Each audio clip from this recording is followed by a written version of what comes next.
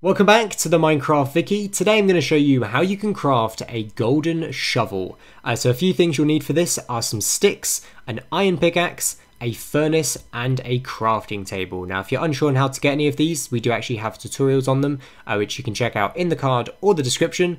Uh, but once you've got them, you want to find yourself a little cave or mine, uh, somewhere where there is going to be some golden ore just like this.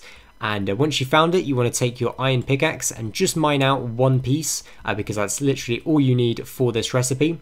Uh, you can then head over to your furnace, open it up and take that piece of gold ore and put it in the top slots and uh, wait for that to smelt. And of course you can use any type of fuel source uh, for this. Now once it's finished you want to take out the gold ore and uh, head over to your crafting table uh, where you'll now start making that shovel. Uh, so you want to get the sticks and do those uh, in a vertical line in the crafting grid here and you then want to place the gold ingot at the top and there you go, you've got yourself a golden shovel. Now also in this game, alongside the golden shovel, you also have a wooden, stone, iron, diamond, and netherite shovel, all of which have different durabilities and can mine at different rates, but for now, you have yourself a golden shovel.